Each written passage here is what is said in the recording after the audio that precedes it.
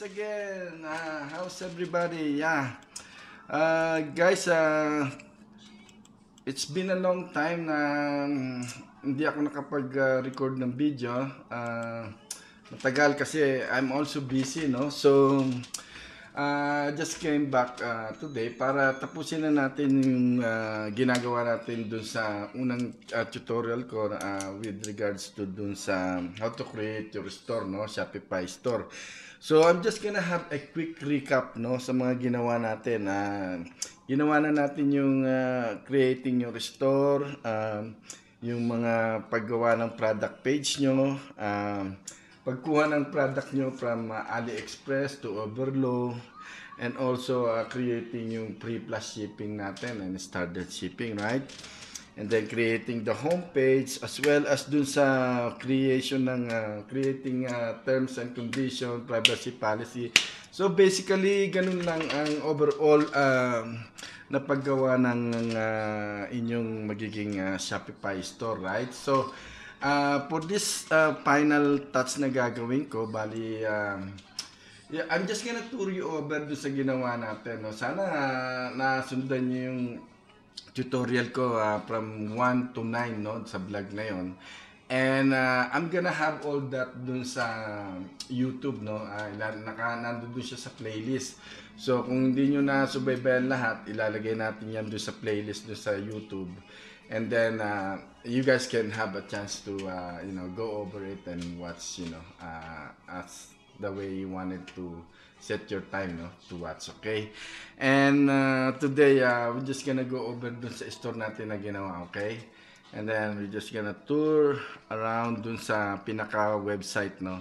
Konting very slight na lang tong gagawin natin na uh, tour over and then finally uh, start tayo ng uh, Facebook uh, advertisement you know uh, creating your account sa Facebook and also some apps na dapat i-install that you need to install in your uh, Shopify store. We're gonna create a new, uh, I'm gonna create a new dummy account on Facebook para masubaybayan nyo uh, uh, in details, right? That's what I'm going to do. The same thing I did here uh, when we started the uh, Shopify. We go to the uh, affiliate program. So I hope you guys uh, uh, still uh, keep tracking, you know, of, what I did in the first video I did here. Okay? So, we're just gonna go over to the main... Ito, basic lang naman to. Ha? I'm pretty much sure you guys uh, know how to do this, okay? So, I'm just gonna tour you over. Ito yung mga product na ginawa natin. Kinuha natin sa Uh, it's about how you going to uh, make this uh, website, you know, looks uh, professional. So it's, it's I, I will leave that to you on your uh, creative side, right? So meron na tayong home page, right? Uh, you're just gonna add your uh, parang pinaka landing page mo dyan, uh, yung pinaka content na dapat mong ilagay, no? So I leave that to you guys, to your uh, creation, okay? And also, meron na tayong t-shirt. Uh, as, I, as I mentioned that uh, you guys need to segregate or put uh, everything, you know, your product in order. So, let's say if you have a t-shirt, uh, we just didn't uh, get chance to uh, fix this, right? So, it's gonna be on your uh, creative side that you're going to do that.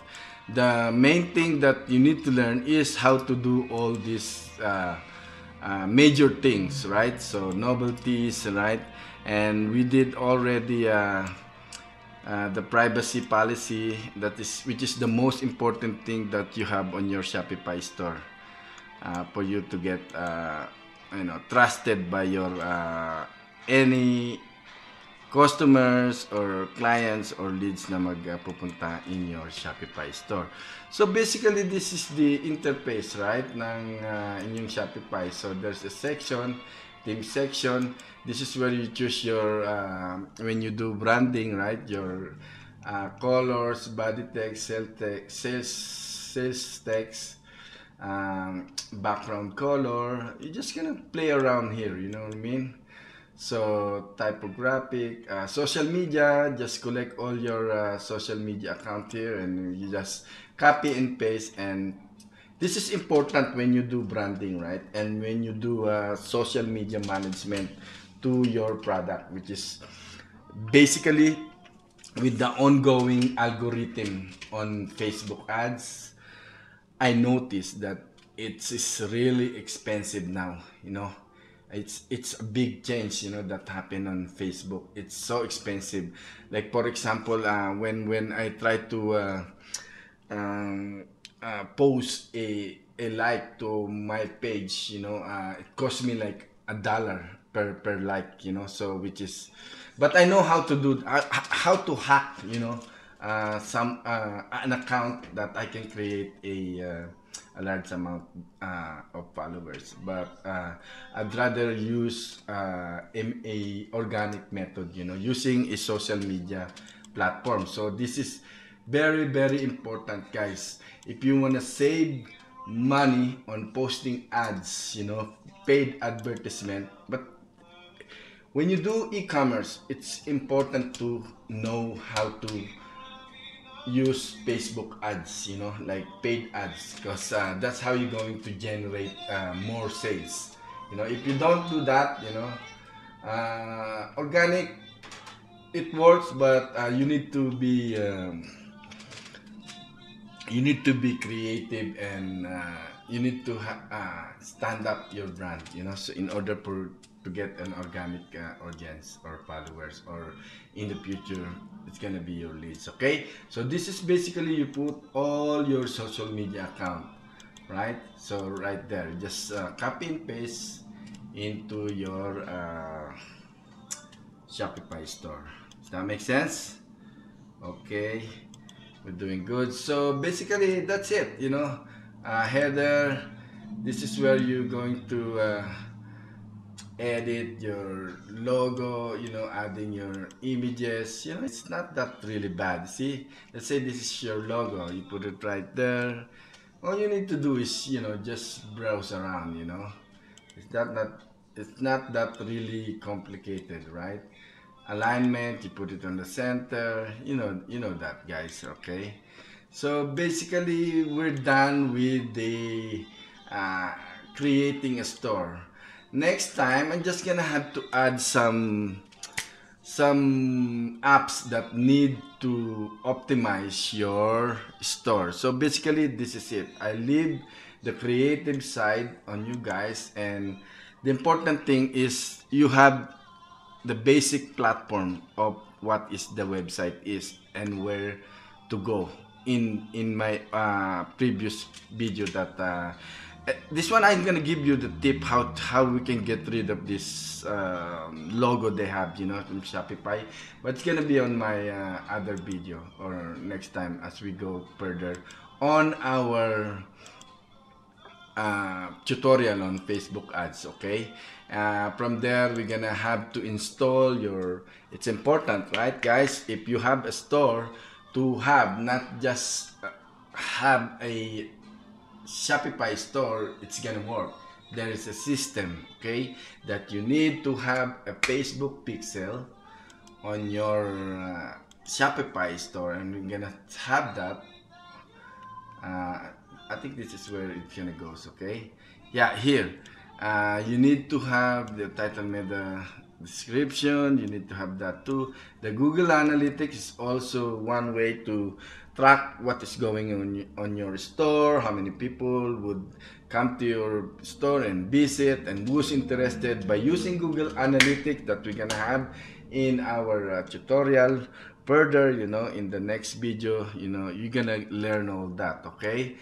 And also uh, have your page Facebook Pixel ID here, okay? And another thing is the uh, we need some apps that uh, that can uh, integrate to your uh, Shopify store through your Facebook uh, ads by using the DPA. I think it's that, that that's the thing, you know, that uh, if you wanna retarget, remarketing your product through Facebook uh, using DPA, DPA, I remember, you know.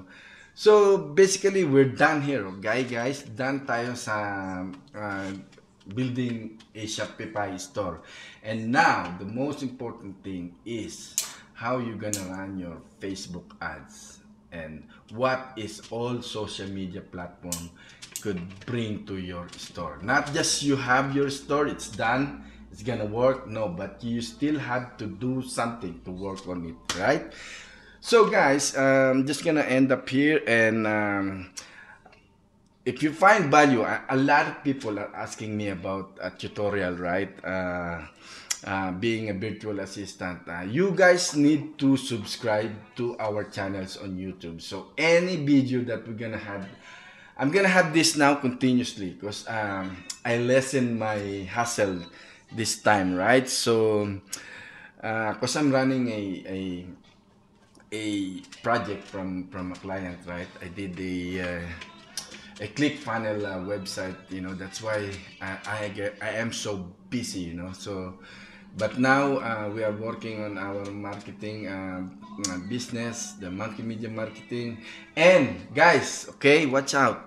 I'm gonna need one social media manager this coming November. I will post a uh, an ads on our uh, Facebook page okay? You guys keep an eye on that you know uh, I'm gonna post um, one social media manage, manager and one telemarketer, you know, to to to work on uh, some uh, a client. Okay, so you guys keep an eye on that. So if you find value on this uh, video that we are doing, you know, please, please, please, please, guys, uh, in order for you to track all the video that we are having you know in in our uh, facebook or other social media platform please subscribe to our youtube channel and click your notification button so you can have you know a um, every time there will be a video you will be notified by youtube okay?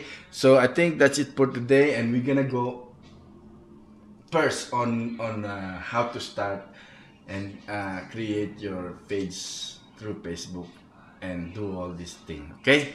Have a good day guys. Um, bye